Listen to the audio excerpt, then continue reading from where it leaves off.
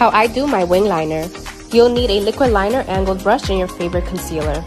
I like to start off very thin and then thicken it out as you get towards the outer part of the eye. Don't forget your inner corner. Clean up with concealer and we're done. Bored bored. I'm bored in the motherfucking house, bored, and I'm bored in the motherfucking house, bored.